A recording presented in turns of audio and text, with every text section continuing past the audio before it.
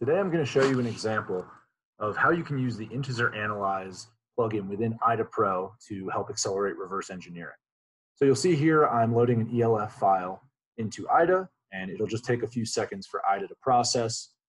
But when I scroll down here on the left, you'll be able to see that there are many functions within this file. Uh, no real way of prioritizing or knowing where to start.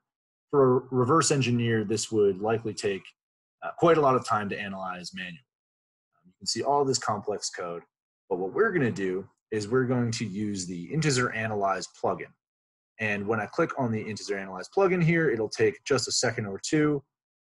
But what we'll get is this output that has all sorts of valuable information for the reverse engineering process.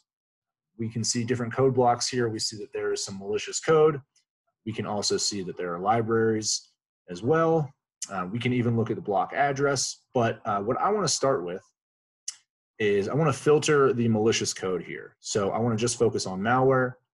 When I run it, you can see instantly that this file shares a lot of code with EvilGnome, uh, which is a Linux malware we've found. And when I pull up the strings here, it will allow me to prioritize my time and start with the interesting parts.